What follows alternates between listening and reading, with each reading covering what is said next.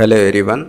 A person has tried to uh, fool the Samsung's uh, Galaxy S10 fingerprint sensor by 3D printing his fingerprint. Uh, actually, he was successful in doing that.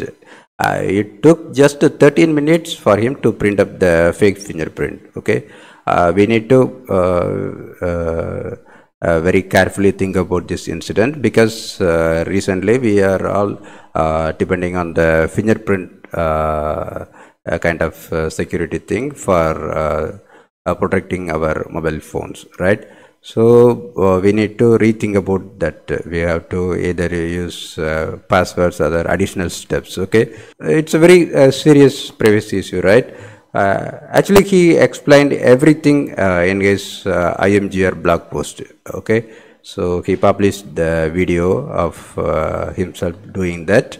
Okay, and uh, he provided all the other details also how he was able to do it. Okay, so the key thing is he was able to do it within uh, 13 minutes. Okay, so just by putting the fake fingerprint, uh, he was able to. Uh, unlock the phone immediately okay? So just similar to our own fingerprint there is no um, other additional processes okay?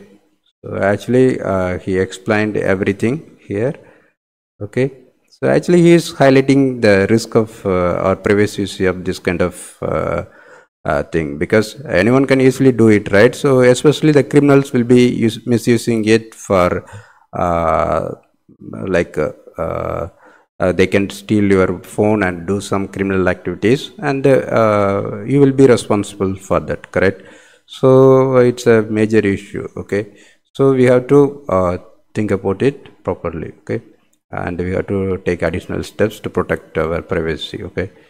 Actually he explained all the steps. So the first thing is he just uh, take the photograph of the fingerprint from the wine glass okay? So the criminals or anyone hacker anyone can easily take your fingerprint. Even the fingerprints will be there in your mobile phone itself okay? So they can easily take it okay? So next uh, he did some processes like uh, with the help of photoshop he increased the contrast and uh, created the alpha mask okay and then uh, he exported this over to the 3ds max and created a geometry displacement from the photoshop image okay? Uh, and uh, then he feed it to the uh, 3d printing software okay? And then he printed the uh, fake fingerprint. And he's saying that uh, uh, it took only 13 minutes to do that we need to be very careful in protecting our uh, mobile devices okay? Okay thanks for watching this video. Subscribe to our, our channel for watching more videos